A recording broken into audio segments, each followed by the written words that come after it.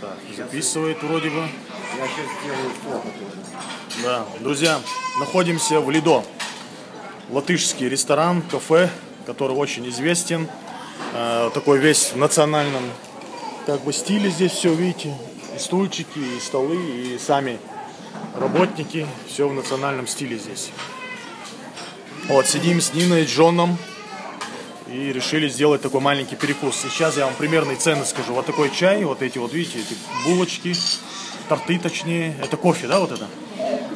Капучино. Капучино, вот еще одна, э, пи- пирог, да, потом еще один торт. Но это что-то какой-то другой торт. Под. Селедка под шубой, да-да-да. Ну, самое. Смотрю, у тебя ностальгия бьет ключом.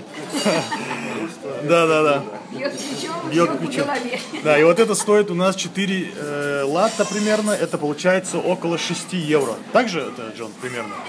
Сколько это, я не помню. Вот я все вместе сейчас считаю, вот это все 4, 4 лата получается. Да, Примерно да, 6 да, евро, да, да. И потом вот такой сок. Видите, гречка, хлеб, э, рыбная котлета с этим соусом. Это стоит у нас, сейчас я вам скажу, 3,68. А ну тоже около 5,5 евро, примерно вот так получается. То есть вот такие вот цены на еду. Как уже сказал, здесь вкусно, очень так питательно.